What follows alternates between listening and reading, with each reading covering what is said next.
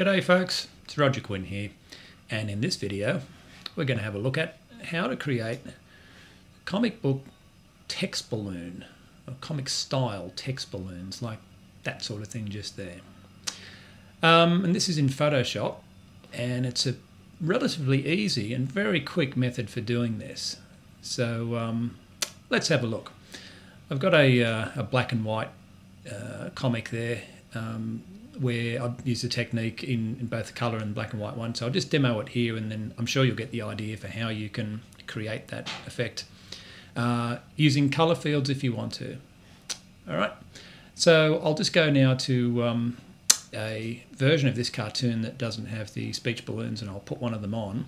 But just before I go to that though, essentially the way this works is it's using uh, a layer effect, okay? And it's setting a, a, layer effect that's basically going to automate the white fill, okay, that's going uh, behind the speech balloons, and also the outline. And what's really great about this is um, anything that you add, for example, a little pull-out section going to the mouths, or if you want to um, join some speech balloons together, uh, don't actually have any on there. I might have one on this one, I think. Yeah, okay, so for example, this thing just here, which I can just zoom up on. Um, it's the easiest way of doing that. Okay, like that. Okay, so you can see the one there where I've got this sort of oval shaped one. A little bird down here is speaking one part, and then it's linking over the cross there. The beauty of this technique is that those uh, joins and effects are automatically uh, created, so you don't have to go in there and you know use vectors or something to join this. Okay, so let's have a look at what I'm talking about. Uh, so I'll just go to this one. Okay. Now let's just say we want to add a speech balloon to this panel here. okay, so what you do, um, oh, I've already got a, a, layer set up there. I'll do one from scratch just so that you can see what we're up to. So I'll just, uh, sorry, delete that one. Yes, go away. There we are. And I'll just add a new layer. and call this balloons. Okay. And I'm going to double click that layer. And that brings up the layer style options. And now incidentally, I'm working in Adobe Photoshop CS6 and I'm quite confident you can certainly do this same effect in 5, pretty sure 4 and probably 3 as well, I seem to recall. Anyway, um, it's really simple as this. You activate, whoops, that's my crazy mouse going nuts there. You activate the stroke, okay? And I'm just going to set that to probably a size of three. Okay, I'm going to leave the other things on there as uh, default for the moment. It's not going to touch anything else on there. The color is significant here because that's going to give me a black outline to my speech balloon and I won't do anything else on, on that layer style. And the other thing I'm just going to keep my eye on, is what I've got my foreground and background colour set to. Um, and in the case of this black and white cartoon, it's just set to um, black foreground, white background. Um, that becomes important if you're working in colour and you wanted a colour um, speech balloon. Okay, but in this case, I'm just using white. Anyway, it's as simple as this. I then will grab a uh, elliptical uh, marquee. Uh, what is important here, just make sure you've got feather turned off. Okay, so um, I've got feather turned off. it's just set to naught. The anti-aliasing you can leave on. That's going to give it a slightly uh, uh, smoother edge. Anyway, and I'll just make sure that I am working on that layer, which I am. I'll just draw a speech balloon, you know, roughly there of course, what I should have done is, um, like every good comic artist, I should be aware of exactly what I need to write in there and make sure that I've left space, which indeed I did do when I planned this comic. Okay, so I knew that I was going to have space there. Anyway, uh, and all you do with that uh, selection drawn, go up to, uh, or use one of the filters, I'll just use the actual menu fill. Okay. I'm going to make sure that the uh, contents it's using uh, is background color because I want it to use the white. And hit OK and there it is. Okay? There's the effect. I'll just undo the selection there.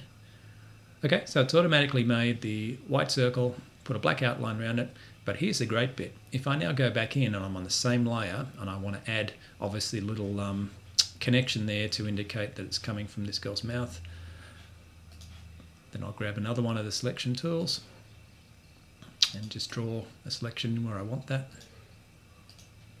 And same process again. Now remember, just pointing out I'm on exactly the same layer, so it's going to apply the same effect. Okay, so it's automatically going to put that outline. But the good thing is it just joins it to the one that's already there. So I'll just go to fill once again. Background color is still set, so it's going to be white with a black outline. And check it out. Okay, automatically joins it up, which I think is pretty cool. And obviously because that's a separate layer, you can still you know move that around if you need to if you need to adjust it. Okay. Um, but that's really the the beauty of that technique. And then obviously the text itself is just put on and there's a separate text layer on top of that.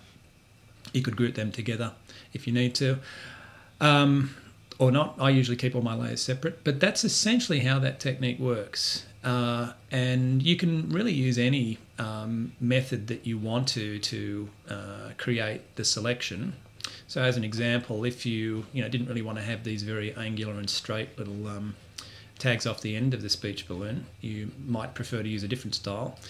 Uh, so some of the things I occasionally use, for example, um, have I got one on this page? No, I don't. It doesn't matter. What I was going to show you is that if you want a more elaborate sort of connection to that, let's just say we wanted this guy over here to be connecting to that speech balloon, um, you could, for example, use the um, uh, the pen tool. Okay, if you wanted to make some particularly um, unique shape to that selection. So I'm just using the pen tool now to draw first of all the shape that I want. Okay, I'll just do this quick and dirty because you'll get the idea I'm sure. Okay, there's my path and then I'm going to just simply use the path menu with that quick path there selected tell it to make a selection. Once again, double checking that I don't have a feather turned on because I just want this to be a flat selection. And there it is. Go back to my layers, make sure I'm definitely on the balloon layer with the stroke effect. Just same thing again. Fill. And background color is set, it is white. And there you go. hide the selection and there it is, joining automatically to that speech balloon. So for me, I found that this is pretty much the fastest method that I've experimented with to create speech balloons. I've tried using um, uh, vector programs like Illustrator to do this. I've tried other techniques in Photoshop. Uh, I've tried exporting, you know, the, the Photoshop file to InDesign and other page layout programs to, to create the speech balloons. But frankly, this to me seems to be the most versatile and certainly fastest method to create speech balloons. Okay, something I didn't mention that I probably should have done uh, is the resolution you're working at. Okay, I'm working at this file, it's roughly an A4 size page, resolution of 200.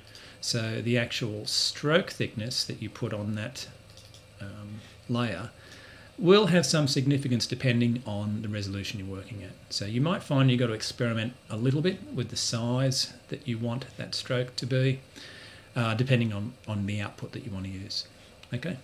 Anyway, give that a go, see if it works for you. As I said, it's pretty quick and straightforward, and um, hope it works. See you later.